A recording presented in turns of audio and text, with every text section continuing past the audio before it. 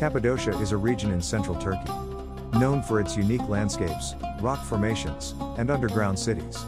The area is characterized by a surreal lunar like terrain, created by centuries of erosion and volcanic activity. Cappadocia is famous for its fairy chimneys, which are tall, cone shaped rock formations that look like something out of a fantasy movie. These chimneys were formed when volcanic ash and tuff were eroded by wind and water, leaving behind the distinctive shapes. The region is also home to numerous underground cities, many of which were used by early Christians to hide from persecution. These cities were carved out of the soft volcanic rock and can often accommodate thousands of people.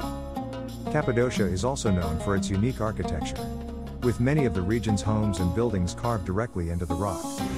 Visitors can explore ancient churches, monasteries, and other structures that have been preserved for centuries.